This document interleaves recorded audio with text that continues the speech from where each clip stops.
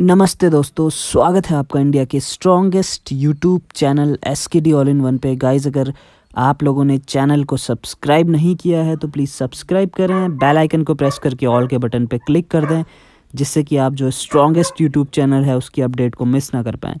First of all thank you so very much for this kind of love and support guys so I am back with another video आज फिर से आप लोगों के लिए बहुत ज़बरदस्त अपडेट लेकर के आया हूँ नीमच से। अजय श्रीवास्तव जी को आप ऑलरेडी जानते हैं, जो कि सहडोल का जिन्होंने जो भी मैटर है, वो सारा उन्होंने लाइक वापस ले लिया था राधे श्याम जी से बातचीत होने के बाद। Big salute to Ajay Shrivastava ji. तो आज अजय श्रीवास्तव जी ने ही कुछ अपडेट दी है और उन्होंने कुछ की पॉइंट्स रखे हैं। मिल करके रहें, एकजुट रहें फेबररी का मंथ बहुत क्रूशियल है हमारे लिए, इसी मंथ में हमारे को ऑलमोस्ट ऑलमोस्ट सारी चीज़ें फाइनल अपडेट मिल जाएगा राइट अब मैं ज़्यादा ना बोलूँ गाइज़ उन्हीं की जुबानी सुनते हैं अजय श्रीवास्तव सर की कि किस तरीके से उन्होंने सारी चीज़ें यहाँ पे एक लॉजिक के साथ बताई हुई हैं।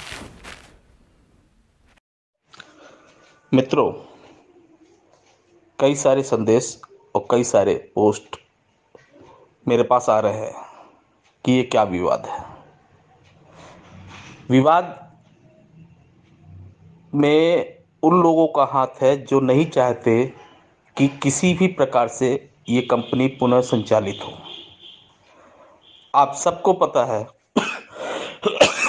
शहडोल प्रकरण, पहला प्रकरण था जो कि आपसी रजामंदी से समाप्त कराया गया। हाँ इसके पूर्व कई सारे लोग इसमें सम्मिलित अवश्य हो रहे थे।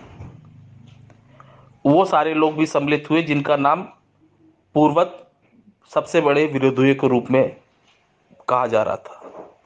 क्योंकि जिन लोगों ने कंपनी संचालित रहने के दौरान हज़ारों गलतियाँ की हैं, धोखेबाजी की है, करोड़ों रुपए का गबन किया है, अब उन्हें शहडोल प्रकरण के समाप्त होते ही ये डर सताने लगा कि कहीं ऐसा ना हो कि सभी डिस्ट्रीब्यूटर एक साथ मिलकर आदरणीय राधे श्याम जी को जेल से बाहर निकालने, कंपनी पुनः संचालित हो और उनके द्वारा की गई कारगुजारियों को उजागर किया जा सके।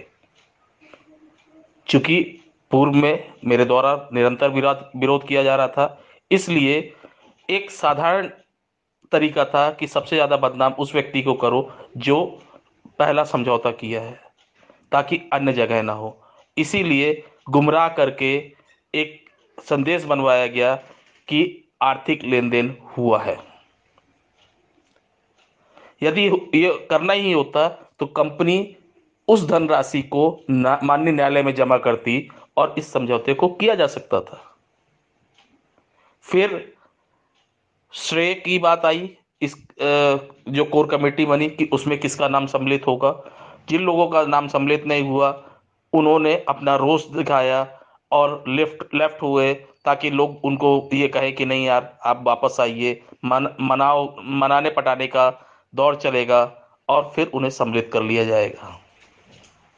ऐसा भी षड्यंत्रकारी है जो गुमराह किए फिर उन्हें कि आर्थिक लेन देन की आरोप लगा दो, क्योंकि पैसा सबसे बड़ी कमज़ोरी है, लोग बहुत जल्दी विश्वास कर लेंगे हाँ ऐसा ही हुआ होगा।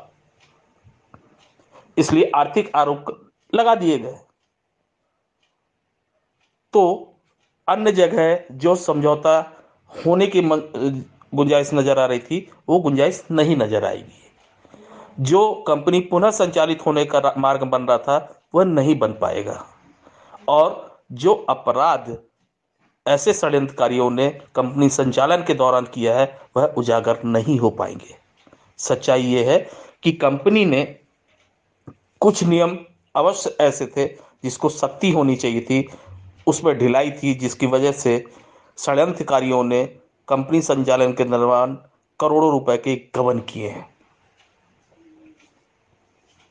और अब वो बिल्कुल नहीं चाहते, इसलिए बहुत आसान है कि किसी भी एक व्यक्ति को गुमराह करो, आर्थिक लेन देन का आरोप प्रत्यारोप करो और ये बता दो कि लेन देन हो रहा है, ताकि अन्य जगह समझौता ना हो और अधिक से अधिक लोग एफआईआर की तरफ़ आगे बढ़े।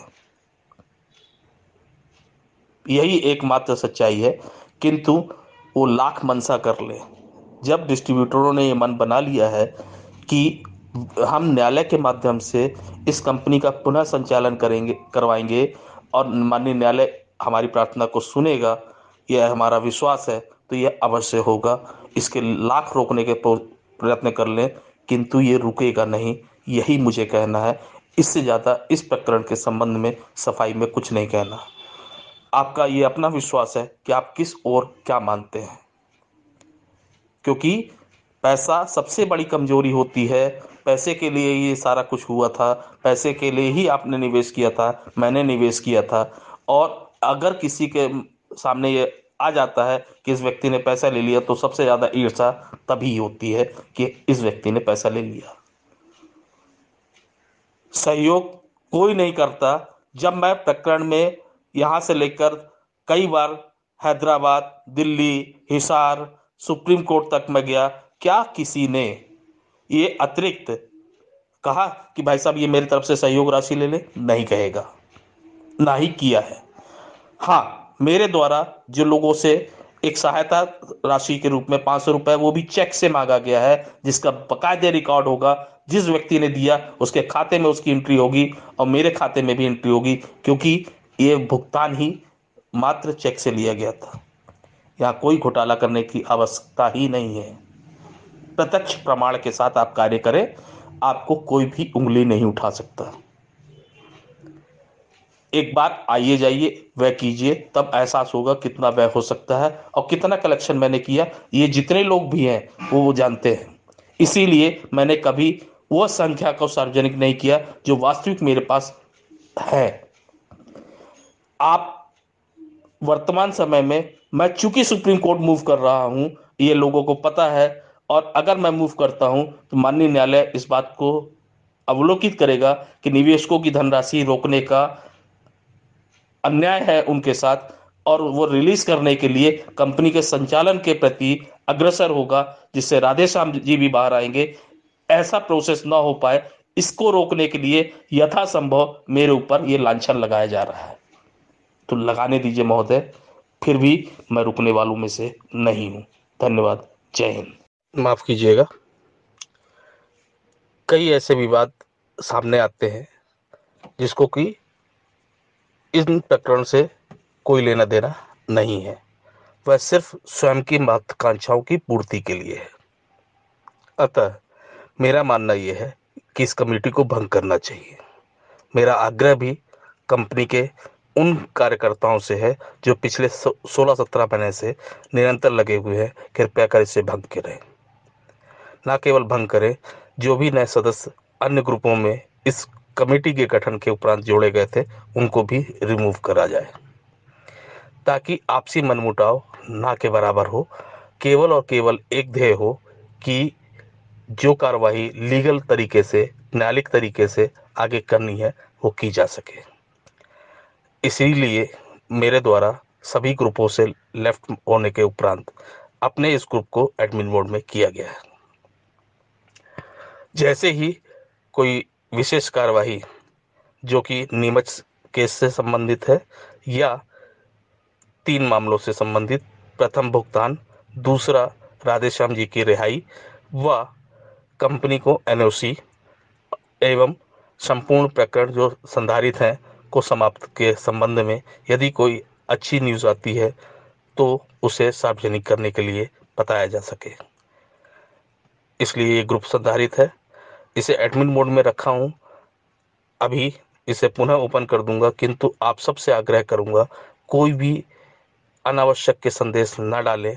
यदि डालेंगे तो मजबूरन मुझे आपको रिमूव करना होगा। धन्यवाद। जय हिंद। तो गाइज़, आपने अजय श्रीवास्तव जी की अपडेट सुनी, जिन्होंने नीमच का सॉरी सैडोल का जो केस है वो वापस ले लिया था, उनकी अपडेट आपने सुनी है कि किस तरीके से आरोप प्रत्यारोप और ग्रुप पे किस तरीके से पॉलिटिक्स वगैरह खेली जा रही है, और उनसे ये कहा जा रहा है कि उन्होंने पैसे लिए हैं, उनको पैसे दिए गए हैं मैनेजमेंट के द्वारा, जिसके बदौलत ही उन्होंने जो सैडोल का केस है वो वापस लिया है। ये बिल्कुल भी गलत है, उन्होंने बिल्कुल भी किसी से पैसे नहीं लिए हुए हैं, वो एक सच्चे और अच्छे इंसान हैं अभी वो आगे लोगों का पैसा रिफ़ंड करवाने के लिए सुप्रीम कोर्ट में भी अपनी गुहार लगाएँगे, जिससे कि सबसे पहले लोगों, निवेशकों का पैसा उन पर जा पाए, दूसरा राधेश्याम जी की रिहाई हो पाए। राइट, ये चीज़ें उन्होंने ऑलरेडी वीडियो में बताई हैं, आपने सुना होगा। नहीं सुना है तो गाइज़ अगर आप स्किप करेंगे, एक सेकंड के लिए भी स्किप करेंगे तो आपको चीज़ें समझ में नहीं आ पाएँगी। तो कंप्लीट वीडियो को देखिएगा कि अजय श्रीवास्तव जी को लेकर के क्या अपडेट्स क्या र्यूमर्स मार्केट में चल रहे हैं। होप आपको वीडियो पसंद आई होगी। अगर पसंद आई हो तो लाइक ज़रूर कीजिएगा गाइज़ चैनल को सब्सक्राइब ज़रूर कीजिएगा। नए हैं तो मैक्सिमम लोगों तक सब्सक्राइब करके बेल आइकन को प्रेस करके, आप मैक्सिमम फ्यूचर मेकर के भाइयों तक इस वीडियो को ज़रूर पहुंचाइएगा। किसी न किसी को एक खुशी, एक राहत की खबर मिल सकती है, क्योंकि मैं यही चाहता हूँ कि हम फ्यूचर मेकर के परिवार के, हर किसी डिस्ट्रीब्यूटर के चेहरे पे खुशी आए। क्योंकि गाइज़ खुशी अगर आएगी तो अंदर से मन हल्का होगा। राइट मन हल्का होगा तो वो आदमी और काम में भी अपना मन लगा पाएगा।